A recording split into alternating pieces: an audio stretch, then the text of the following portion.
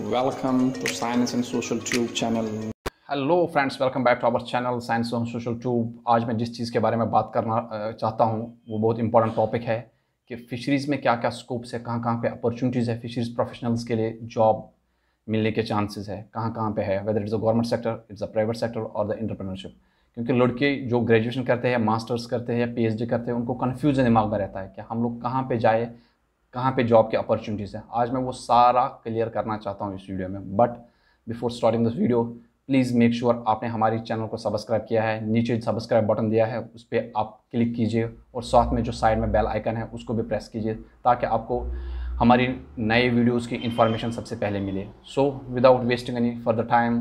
let's start the video Kindly do not forget to subscribe our channel by hitting the below subscribe button and press the bell icon.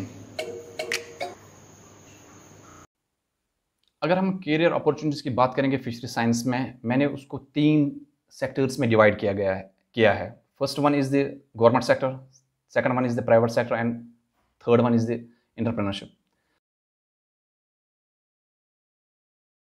so government sector के अगर if you talk about the government sector are various opportunities. The first and foremost is the science job. The, every year there are the posts are coming under That science to uh, agriculture science recruitment board जहाँ पे लोग scientist job के लिए apply करते हैं उसकी जो eligibility है वो पीएचडी है। इंडिया इंडिया में जो रिसर्च इंस्टीट्यूट्स है डिफरेंट रिसर्च इंस्टीट्यूट में उसमें जॉब करने के लिए एग्ज़ाम क्वालिफाई करना पड़ता है। जब आप वो एग्ज़ाम क्वालिफाई करेंगे तो आपको वो साइंटिस्ट का जॉब मिल सकता है। वैसे ही और एक ऑर्गेनाइजेशन है इंडिया में जिसको सी कहते हैं। Of scientific and industrial research वहाँ पे भी कभी कभी फिशरीज़ के पोस्ट आ जाते हैं। आप वहाँ पे भी साइंटिस्ट के लिए अप्लाई कर सकते हैं। And there also the eligibilities P H D plus two years minimum two years post doc experience या आप वर्ल्ड वाइड कहीं भी गवर्नमेंट ऑर्गेनाइजेशन में as a scientist job apply कर सकते हैं। But eligibility will be at least minimum P H D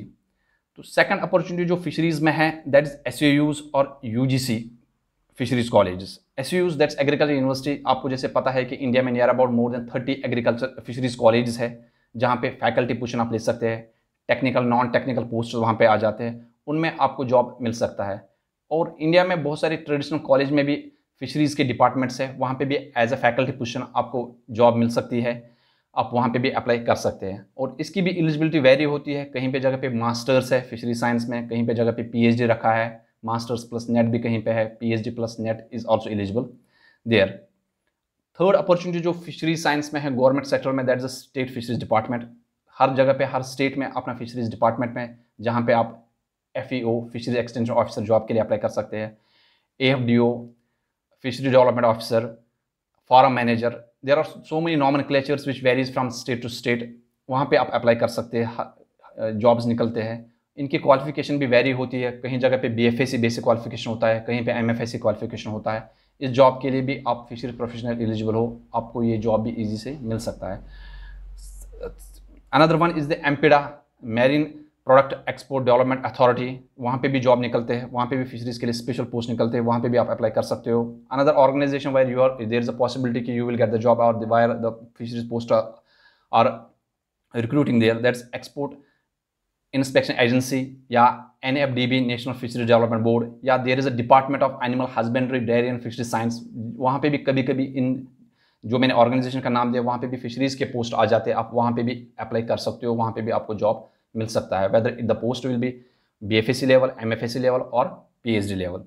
so और एक सेक्टर है गवर्नमेंट सेक्टर में जहाँ पे जॉब मिलता है फिशरीज़ वालों के लिए that is a research job you will join somewhere as S R F in any project in government project may be in fisheries college और in research institutes research associate or करके आप apply कर सकते हो और आप post doc के लिए भी अप्लाई कर सकते हो। There are various organisation various departments which are sponsoring for the post doc आप वहाँ पे भी अप्लाई कर सकते हो। सो so, ये जो सारी चीज़ें थी चाहे साइंस जॉब था एग्रीकल्चर यूनिवर्सिटीज़ में जॉब था स्टेट फिशरीज डिपार्टमेंट में जॉब था और या रिसर्च जॉब था ये these all are I have include in the government sector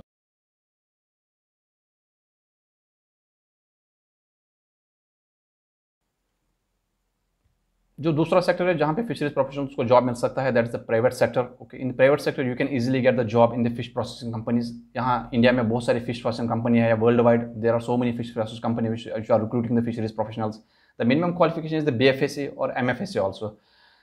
the private sector another uh, companies which are providing job for the fisheries is the fish feed companies.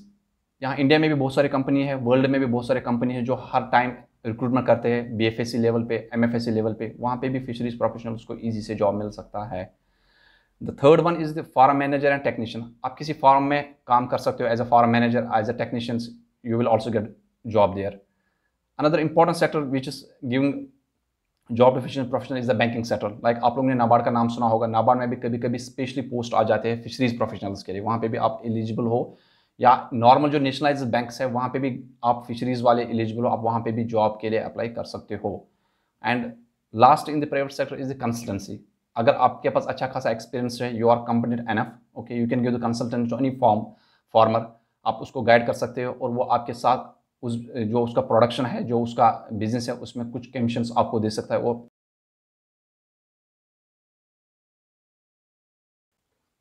the last in my list but not the least is the entrepreneurship ये वो part है जहाँ पे आप खुद boss हो, आप खुद अपना बिज़नेस स्टार्ट कर सकते हो whether you are starting the fish farming आप कोई फ़िश फार्म डाल सकते हो, वहाँ पे आप बिज़नेस अपना स्टार्ट कर सकते हो, या आप कोई श्रिम फार्म डालना चाहते हो, वहाँ पे आप बिज़नेस अपना स्टार्ट कर सकते हो, या ornamental unit there are so many ornamental shops, you maybe have already seen across the country, there are so many ornamental fish, there is a, it's a growing business across the India. वो आप ornamental unit डाल सकते हैं, वहाँ, उससे आपकी income हो सकती है। हैचरी आप डाल सकते हैं। There is hatchery unit for the fishes और अगर आपके पास अच्छा खासा पैसा है आप फ़िश प्रोसेसिंग यूनिट भी डाल सकते हैं। ओके दूसरे लोगों को भी जॉब दे सकते हैं। सो so, आप लोगों को क्लियरली समझ में आया होगा कि कहाँ कहाँ पे गवर्नमेंट की अपॉर्चुनिटीज़ है कहाँ पे प्राइवेट पे अपॉर्चुनिटीज़ है या आप अपना बिज़नेस इंटरप्रेनरशिप स्टार्ट कर, कर सकते हो। मेरे ख्याल से मैंने सारा कवर किया कि फिशरीज प्रोफेशनल्स को कहाँ कहाँ पे अपॉर्चुनिटीज़ है। अर्न करने के लिए या करियर बनाने के लिए। अगर आपको हमारा काम अच्छा लग रहा है प्लीज़ हमारे चैनल को सब्सक्राइब कीजिए